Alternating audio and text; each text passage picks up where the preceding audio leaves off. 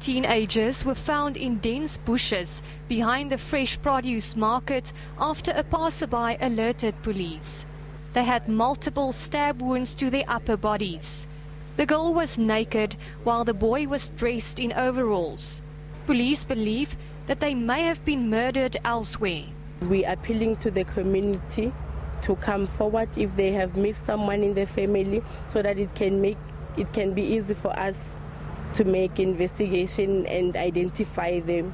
Police suspect that more than one person carried out the murders. Three bodies have now been found in this area in the last 18 months. The local community policing forum has called for police to be deployed here permanently. S. Marie Prinsloo, SABC News, Pretoria.